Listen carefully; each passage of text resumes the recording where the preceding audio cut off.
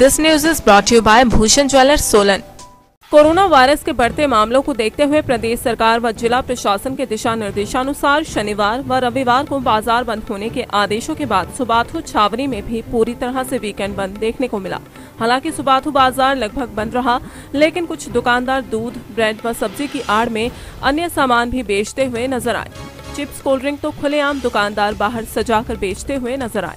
वहीं सुबाथु बाज़ार में सिर्फ़ रोज़मर्रा की दुकानों सहित शराब के ठेके खुले रहे।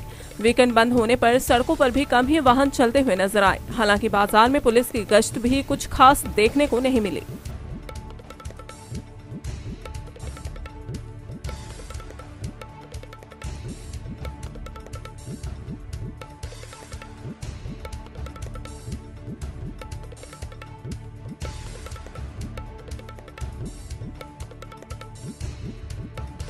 दिव्य हिमाचल टीवी के लिए सुबाथू से कपिल गुप्ता की रिपोर्ट।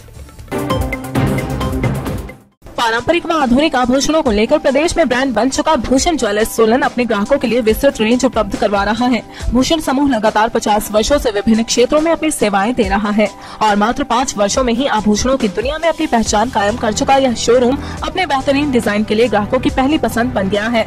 आभूषण चाहे सोने के हो या फिर हीरे व चांदी के, इनके डिज़ाइन का कोई सानी नहीं है। वेरायटी विश्वसनीयता और ग्राहकों की उम्मीदों आरोप खरा उतरने का संकल्प है यह ब्रांड निरंतर सफलता के नए आयाम स्थापित कर रहा है। भूषण ज्वेलर्स के एमडी विनय गुप्ता का कहना है कि न्यू वेरायटी न्यूनतम मेकिंग चार्जेस देरों उपहार व शोरूम में अपनेपन का एहसास हमें अन्य ब्रांड से जुदा करता है। इसी वजह से आज हम ग्राहकों के दिलों पर राज कर रहे हैं। तो अगर आप भी आभूषण खरीदना चाहते हैं तो चले आइए आज ही भूषण ज्वेलर्स सोलन